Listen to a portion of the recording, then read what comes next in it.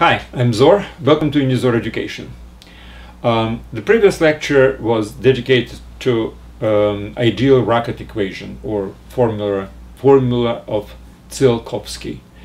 Um, basically, it's a very simple um, equation which um, combines together the increment of the speed of the rocket and the ratio of the mass of the rocket before with the fuel, with the uh, uh, propellant, and after um, certain amount of time when the propellant is exhausted. Now, today I would like to, to use this formula to make a couple of very, very simple calculations. Now, um, this lecture is part of the course Physics for Teens, presented on unizor.com. Um, I suggest you to watch this lecture from the website because uh, there are other lectures. Uh, first of all, there is a course of math for teens, which is prerequisite for this course, especially as far as vectors and calculus is concerned. And secondly, the course is presented in some logical sequence, so I would definitely recommend you to basically start from the beginning and go with the way how the course actually goes. It gives you some logical view onto an entire subject. Uh, plus, every lecture has um, very detailed notes. There are even some exams um, for those people who would like to challenge themselves. And uh, well, the, the site is free and it has no advertisement, so no financial strings attached at all. You don't even have to register. I mean, if you do, it's good. But all right, so the calculations we would like to make today are related to basically launching the rocket uh, in space. So we will be calculating what actually is necessary. And um, let me tell you, I, I, was surprised myself with results of this. Basically, how much fuel, how much propellant you, you need to, to launch the rocket. So let's use this um, Tsiolkovsky formula, the formula which is basically the ideal rocket equation. So let me just specify it again and we will discuss it a little bit. So that's how it looks.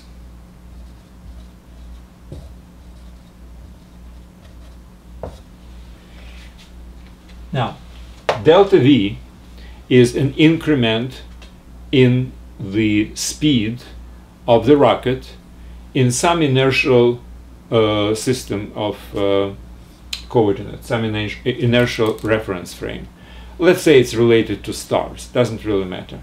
And we can always assume that the rocket goes along the positive direction of the x-axis. Now, uh, to basically make this particular motion, um, it's supposed to exhaust certain propellant. So the very important characteristic of, of the rocket movement versus something which we have started before is that rocket is losing its mass as it moves forward. I mean, if it wants to accelerate, of course. I mean, if it works, I mean, if, if it moves with certain speed, constant speed along a certain trajectory, basically it moves without any uh, loss of mass. But if it wants to accelerate, it throws away um, the propellant, and that's what makes it to go faster. Or if the rocket wants to slow down, it turns with its back towards the direction where it's moving and again throws propellant and that slows down. So if propellant is thrown um, in the opposite direction to the movement relative to the movement of the rocket, it accelerates. If it's in the same direction, we can assume it's positive basically because it all depends on us.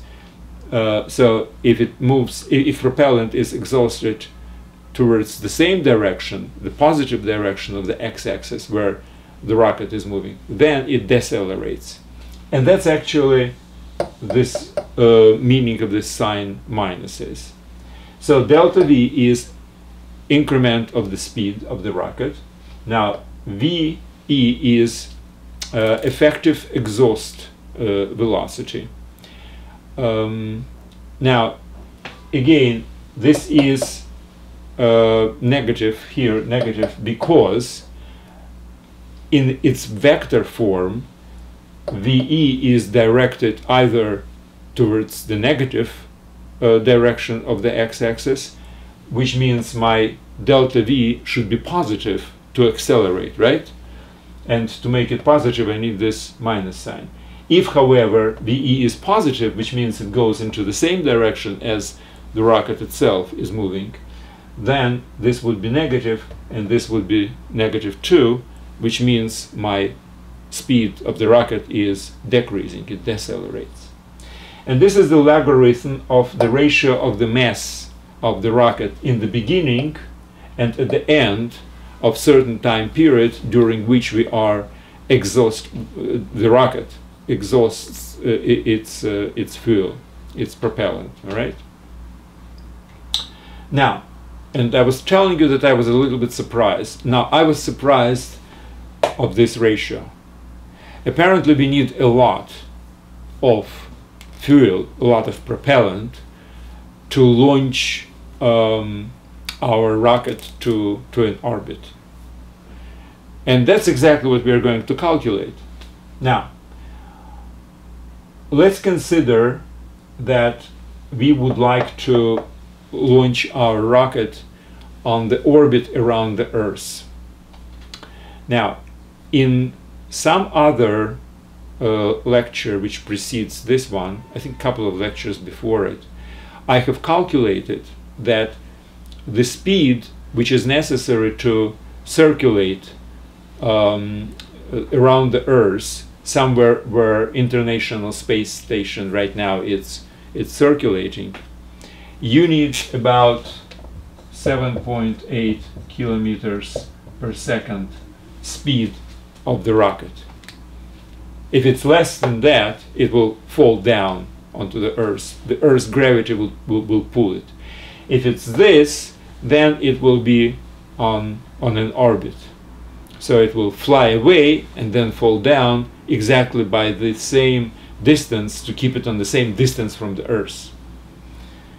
Okay, now, so we know this, which means we know delta V, because initial, score, in, in, initial speed of the rocket is obviously zero, so starting from the zero, we have to reach the speed 7.8 kilometers per second during certain amount of time. So my question is, what kind of, how much fuel do I need? Now, this is something which must be specified. Now, this is relative to the rocket uh, effective speed of the uh, of the propellant. Now, um, contemporary um, engines, rocket engines, and I, I didn't know it, I just looked at, at Wikipedia or something, have a speed of exhaust about 4 kilometers per second. That's pretty fast actually. So when, when the fuel burns, it actually throws this, uh, with this speed, um, whatever the results of the, uh, uh, of the burn is. So this is your propellant. So the propellant speed, VE, is this. Now, obviously, using these two factors, I can find this logarithm. Okay, so VE, well, obviously I should put minus and then this minus would be plus, so it would be 7.8 is equal to 4 times logarithm of m in the beginning divided by m at the end. By the way, this is always greater than 1 because in the beginning, with the fuel, with the propellant, the rocket uh, mass is greater than at the end when everything is exhausted. So, which means my logarithm of m in the beginning divided by m at the end is equal approximately 7.8 divided by 4, which is about 195. So logarithm of this ratio is 195. Okay, so the ratio itself equals e to the power of 1.95, which is approximately 7. So, here is very important ratio. The mass of the rocket in the beginning of the movement is seven times greater than the mass at the end. So, which means that if I have a rocket where this is the useful part and this is my fuel, and let's say useful part is about 1000 kilogram, one ton, metric ton, all right? Which is reasonable, one metric ton, because you have equipment, you have the body of the rocket itself. I mean, it's it's reasonable amount of weight or mass rather. Then this thing is supposed to be 6,000 kilograms. So for every ton you would like to launch on the orbit, you have to burn six tons, metric, metric tons of fuel. Now that's what I was surprised, quite frankly. I didn't kind of feel that this is so big.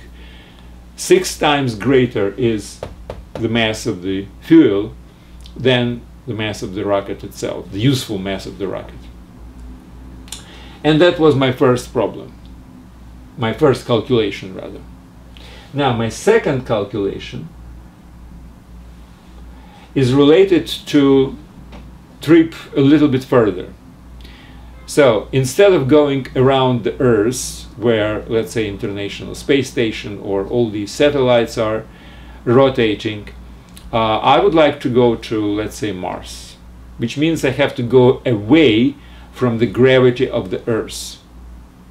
Now, uh, we can very easily calculate how much speed I need for this, but in any case, I just ask you to um, trust me that there are calculations which result in the speed necessary of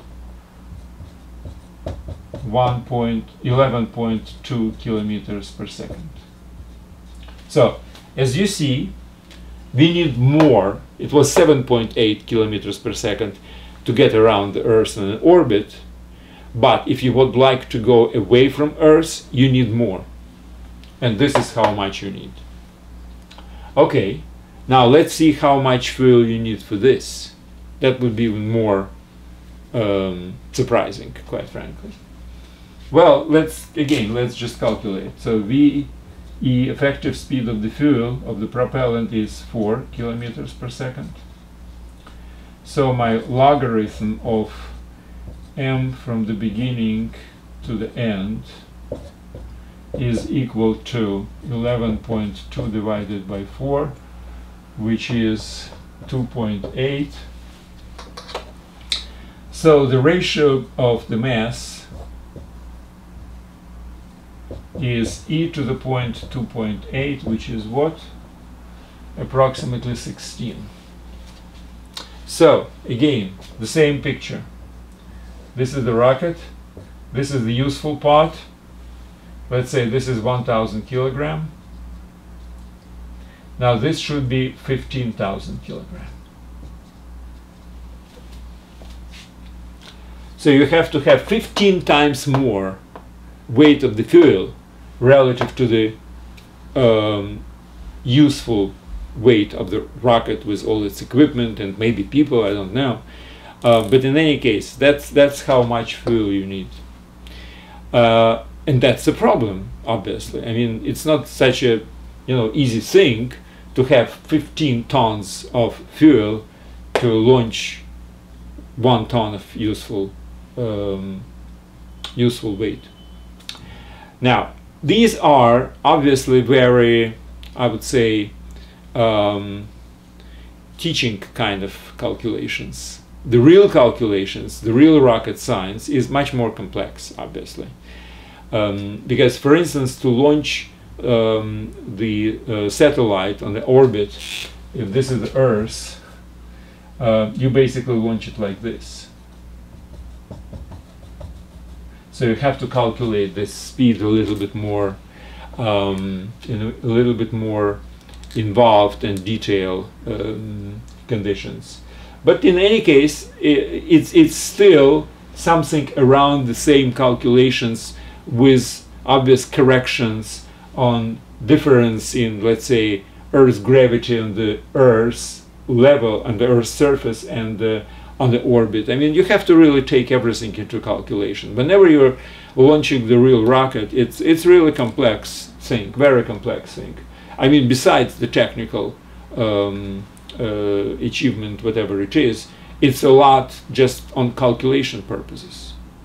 So the calculations are involved. Um, and by the way, when you are launching the um, the rocket, uh, you know Earth is rotating by itself, so it helps if you're launching the rocket in such a way that the rotation of the Earth helps you, which means since rotation is towards the east, it means that the mm, easily uh, it's easier to, to, to launch the rocket towards east because the Earth's rotation helps you, moves you a little bit forward, and it's it's substantial uh, speed as well. We I think we did calculate the speed of the um, of the rotation. Um, so that's basically it. There are very simple uh, two problems which we have solved using this uh, uh, rocket equation. Uh, but again, you really have to feel how difficult it is to deal with all these um, issues related to the launching because it requires a lot of fuel to launch anything significant on the orbit. And obviously, these were the first calculations scientists really were um, going through before they started to, you know, to complicate the picture with uh, the rotation of the Earth and, and stuff like this. But anyway, this is the beginning relatively simple, but with someone, some, somewhat surprising results, I would say. Okay, um, why don't you read uh, the notes for this lecture? If you go to unizor.com, go to physics for, uh, for teens. Uh, this is mechanics uh, uh, part of the course, and then you have to go to dynamics, and it's one of the dynamics um, topics. That's it. Thank you very much, and good luck.